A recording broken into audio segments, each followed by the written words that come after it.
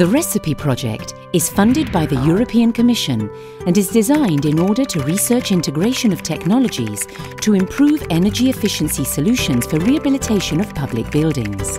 RESSEEPE aims to develop and demonstrate an easily replicable methodology for designing, constructing and managing public building and district renovation projects to achieve near net zero energy public buildings and districts.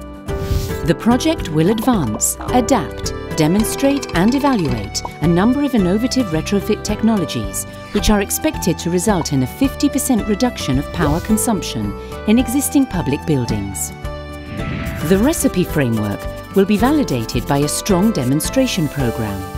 With the renovation of 102,000 square metres of public buildings envisaged, arriving to a total renovation of 205,000 square metres that will be deployed in the following years.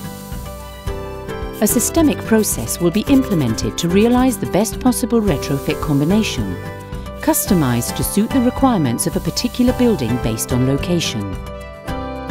The proposed budget for the RESSEEPE project is 13.7 million euros and the total European Commission funding contribution is 8.8 million euros.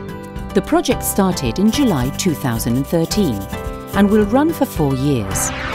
The RESSEEPE Consortium is composed of 25 partners from 10 different European countries.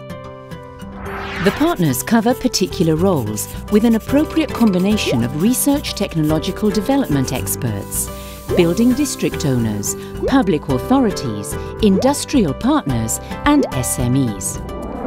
To develop the project, the work plan is divided into eight main activities which build an effective plan for meeting the objectives of RESSEEPE. The starting point of the project is the creation of a methodology to diagnose the effects of retrofitting technologies by establishing key performance indicators. Innovative solutions are developed and include a tool for designing efficient buildings and districts using the latest related software. These objectives correspond to the activities 2, 3 and 4 of the project, which are closely linked in order to integrate the technologies so we can simulate the energy efficiency by providing an overall assessment. Once the methodology is created and the technologies and the software selected, Activity 5 will cover design and building of the prototype scale test prior to the implementation of measures and technologies in the actual demonstrators in Activity 6. These are real demonstrators. University buildings in Coventry in the UK, two hospitals in Terrassa and Sabadell in Spain, and a secondary school in Skellefteå in Sweden. These will provide real examples of the methodology developed for the energy-saving measures. Finally, in the activities 7 and 8, the results obtained during the project will be the basis for implementation and impact assessment of the solutions and tools. A dissemination and communication plan for the project ensures stakeholders are reached through a number of different communication channels.